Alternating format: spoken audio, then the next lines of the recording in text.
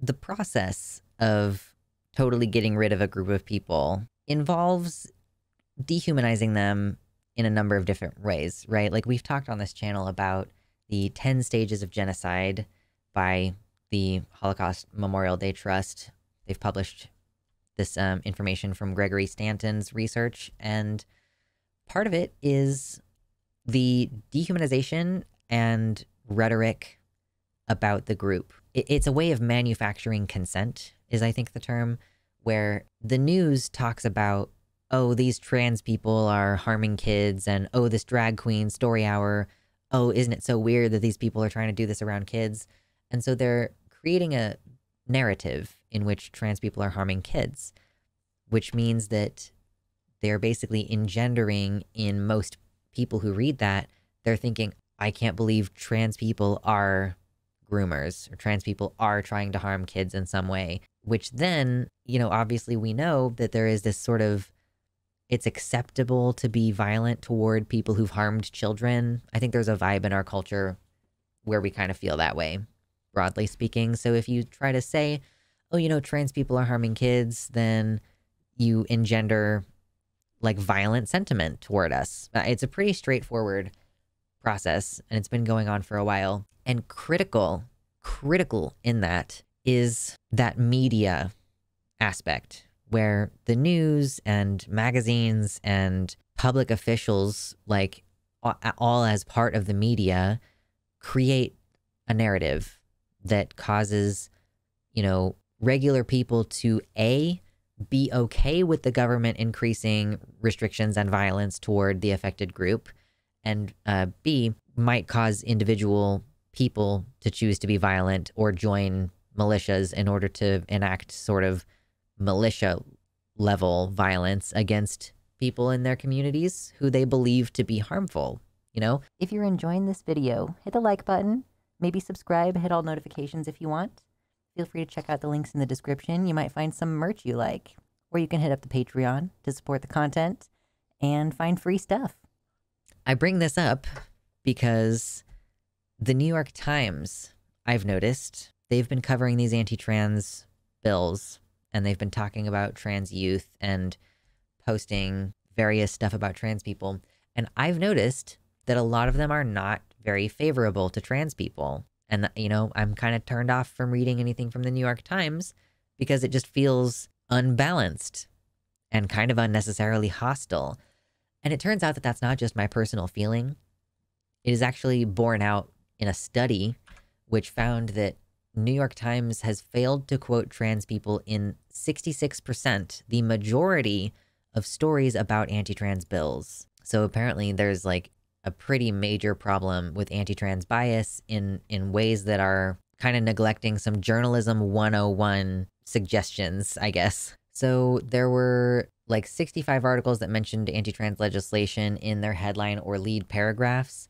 And so GLAAD, uh, I can't remember what GLAAD stands for. It's a you know those queer um, media organizations asked the Times to address this anti-trans bias like by setting up meetings with members of the trans community or hiring trans writers and editors at the paper.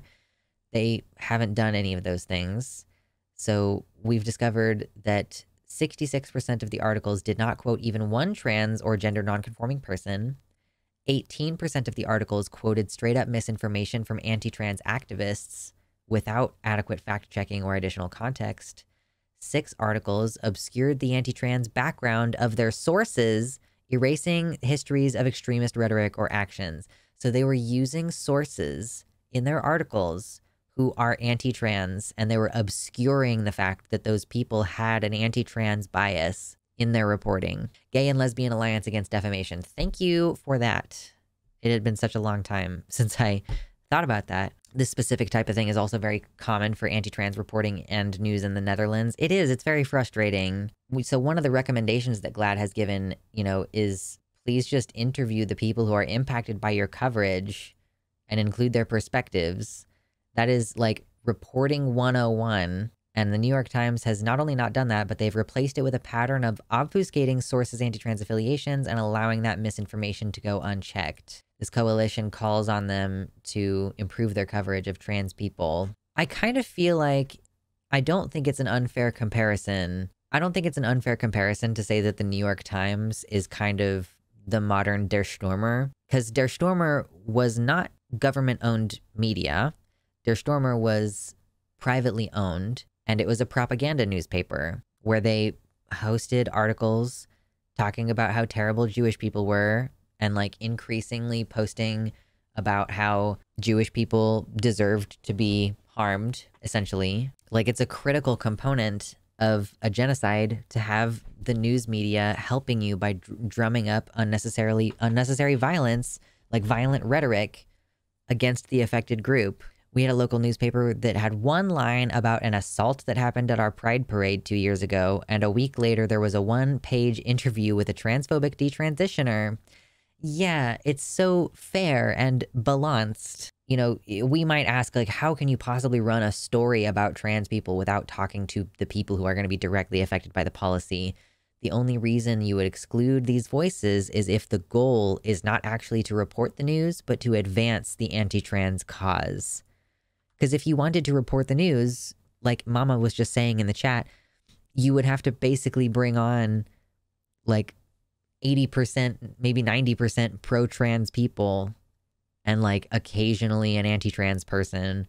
And that would be actually reflective of what's going on in our world. The Intercept did a piece about the New York Times re- uh, terrible reporting in the story about the supposed uh, systemic sexual assault by Hamas on October 7 in it, one of their employees described how the New York Times higher ups were clearly only asking her to backfill the predetermined story they wanted to run. Uh, it's like you you might as well just run ChatGPT on this one for as much as for as much like actual writing they wanted to have done. Much love to my patrons, especially Tiago Nascimento, Mersh Rolvog, Michelle Frateroli, Amanda B, Wellington Marcus, Michelle Winter, Danielle McDonald, DZXN, Suzanne Maynard, Spooky Heather Sylvia, Jamie Jam, Pasnell Infinity, Nova, Sojo, Elizabeth Bartell, V. Nobody, Kevin Young, Sarah A., Athiet, Celeste, Desi Quiche, Liam Hodgson, and Mr. Atheist.